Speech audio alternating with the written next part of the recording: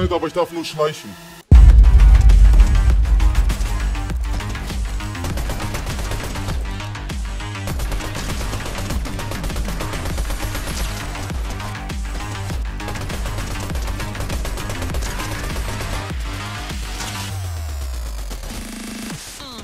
Es leben noch sieben Leute, ich nehme die alle auseinander.